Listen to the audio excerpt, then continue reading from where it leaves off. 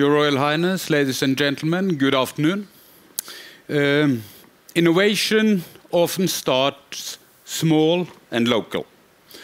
Therefore, Nordic Choice Hotels, together with the Norwegian Confederation of Enterprise and the Swedish Federation of Business Owners, are giving out the Local Eat Award for the third year in a row. The Local Eat Award is held in Norway and Sweden, and the goal is to find and lift new small scale food, small scale food and sustainability related products, services, or ideas. Here with us today in this room are the two national champions from Norway and Sweden. That should give them about a 50 50% chance here today.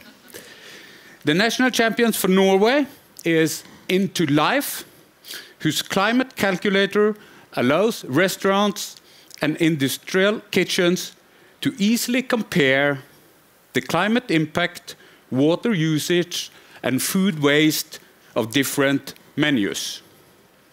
The national champion of Sweden is QualiFare Consulting, whose digital tool combines public schools' absence reporting system with the school kitchen and makes it easy for them to reduce overproduction of public meals. Two very, very good nominees. It's a pleasure for me to announce the winner who, through technological development, addresses a great environmental issue in a simple and targeted way. Can go for them both, but please welcome to the stage the winner of the Local Eat Award 2016, Camilla Birinder from QualiFare Consulting.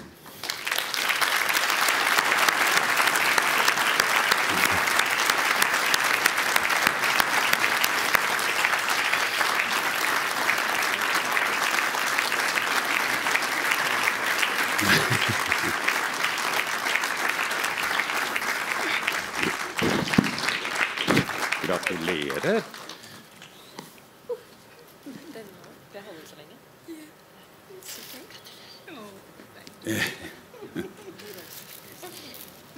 Vill du säga något? Yes. Yes, please.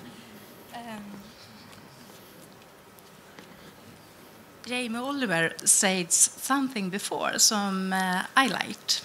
I will be a ninja warrior for him in Scandinavia. It's, it's possible. But, wow, what a feeling. Thank you. I want to thank my parents, both skilled chefs, both entrepreneurs and restaurateurs. They taught me the value of the sustainable meal production. They both questioned the huge public meal waste for 40 years ago. Here I am, 40 years later. I owe them everything. My own frustration spurring motivation and innovation. And I will send you uh, uh, some thoughts. Think, act, and be the person you want to be. Dare to invest in doing good. Then you will inspire another peoples. Thank you.